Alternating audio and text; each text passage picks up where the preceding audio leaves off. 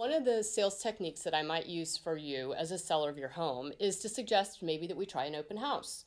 Open houses are helpful for a seller so that they can expose their house to the market. A lot of times, I'll suggest to a seller that we do it on the first weekend that the home is available for the market.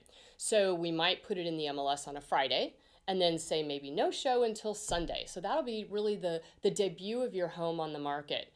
Um, so to plan for the open house, it's a little bit like getting ready for buyer showings and I'll help you do that preparation. But for me, when I arrive for your open house, I would like it if you have all the windows open, all the shades open, have all the lights on, and that's where I then come in.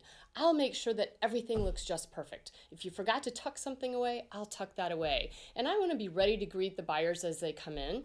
I'll be putting signage probably down the street to help bring them to your home.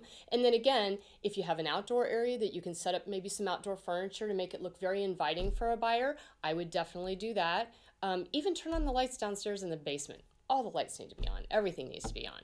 So my job is to bring traffic to your home for the open house. So if I do my job using signs in the yard, signs down the street, lots of internet advertising, um, and probably even ads on Facebook, hopefully I'll just bring lots and lots of buyers to your open house. And if we're lucky and generate enough buzz, and hopefully we'll generate an offer that very same day.